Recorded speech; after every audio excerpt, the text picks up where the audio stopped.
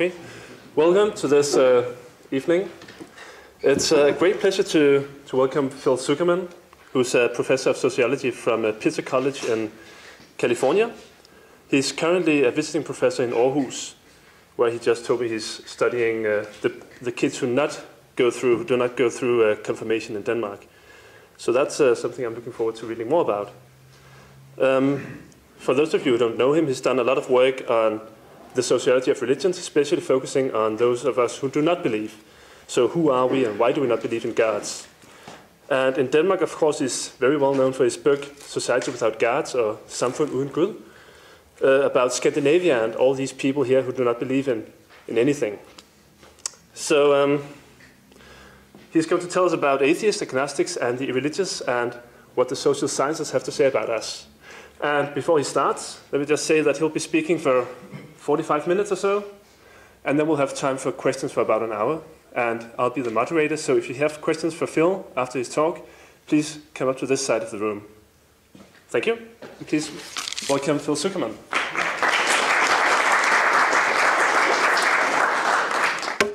Mange tak.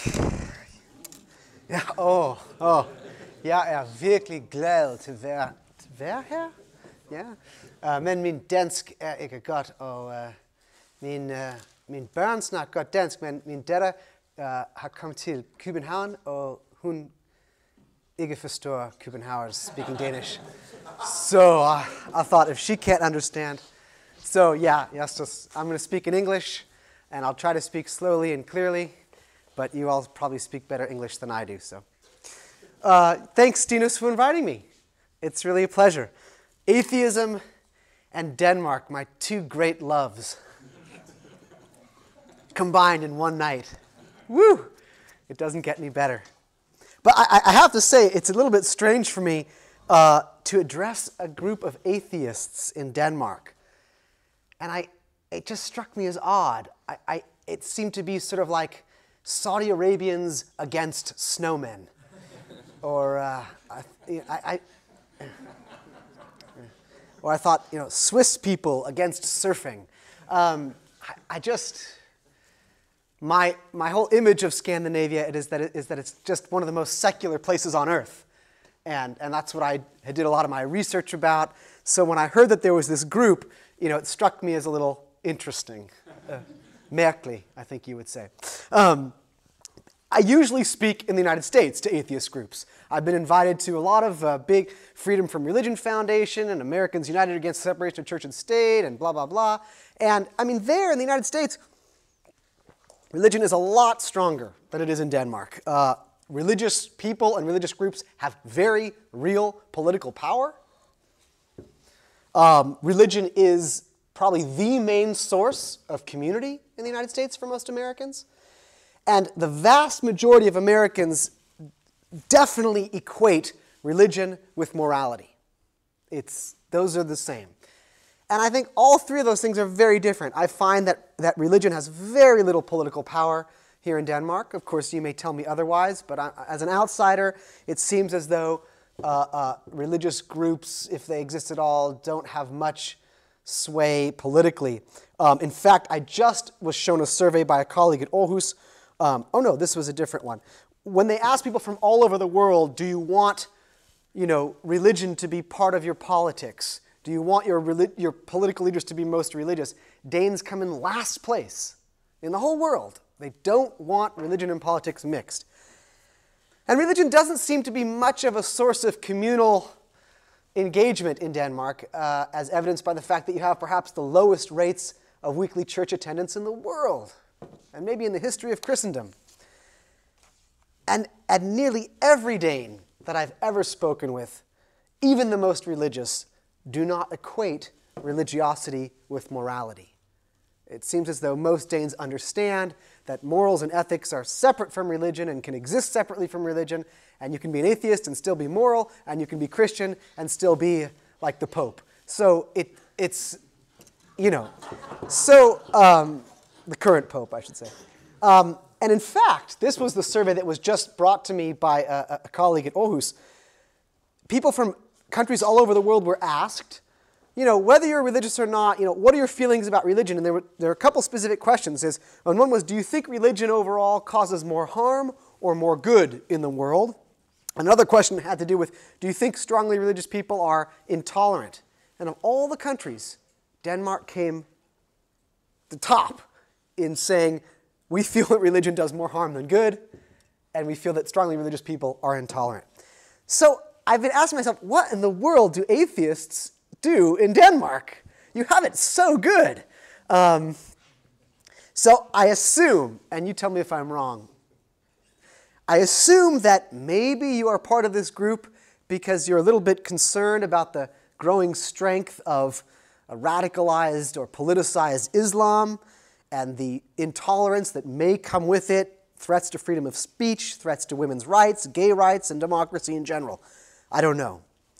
Maybe you're part of this group because you actually are concerned that about this mixing of church and state you have here in Denmark, uh, that you know you, people's taxes go to support the church, and even if you quit the church, still in a certain way, your tax money is going to the government, which the, the church, the Folkekirke, is part of the government, and maybe you don't like that your kids uh, have time taken out of their weekly class in the seventh year to study uh, religios- uh, Christianity towards their confirmation, right in the heart of the school day. Maybe you don't like that the king or queen has to be a Lutheran according to your constitution. I, I, I assume you have some of these issues. But maybe it's none of that. Maybe you simply have an interest in atheism, agnosticism, and irreligion. And it's that last one I've decided to tailor my speech to. So, those of you that were expecting a harsh attack against Islam, you will be disappointed. And those of you that were expecting a harsh critique of the Folkekirke, you will be sorely disappointed. I think the Folkekirke is a nice institution um, that does a good job of creating secular people. And, um, and uh, so, but this last one, I hope you have a general interest in things about secularity, and that's what I'm going to address tonight. And so, what I thought I would do, and I'm aiming for 45 minutes, it may be a little less because I've never given this talk before, so I don't have it down pat. It may, I may go over a little bit, but I'm aiming for about 45 minutes just to present to you some information, and I hope that information spurs some questions or some comments or critiques, and then we can discuss and I can answer or you can tell me how I've got it wrong. Um, most talks about atheism, I find, their favorite topic is actually religion. um, they like to debunk religion and talk about how evil it is. Uh, they like to critique the Bible and talk about how silly it is and how religious authority is a problem. And, and again, I, am not going to do much of that tonight. Um, instead, I want to talk about atheists, the actual atheists, and agnostics, and secular people themselves. Who are they? What do we know about them? And so before I, and I have a sort of top 10 list, and then I thought, oh, it's atheists. It should probably be a top nine or a top 13 because top 10 is just so, but I stuck with top 10, sorry. But before I give you the sort of top 10 details about we, what we know, I'm, I'm trained as a sociologist. I, I travel in those circles, so I'm most comfortable with sociologists and anthropologists Psychologists are a little weird, but I'm getting to like them more and more. You know the difference between sociology and psychology, of course. Uh, sociologists are people who have problems with society, and psychologists are people who have problems with themselves. Um, but anyway, you'll find that's kind of true.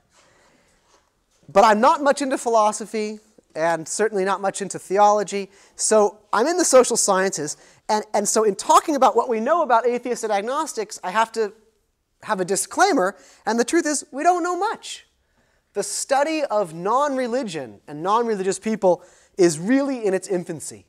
Um, we've been studying religion for, you know, you know, sort of consciously studying religion systematically for over probably 150 years, we being social scientists. I mean, the founders of sociology were deeply interested in religion and wrote a tremendous amount about it except for perhaps Marx. Um, the early anthropologists, deeply interested in religion. In fact, describing and analyzing religion was usually how they made a living.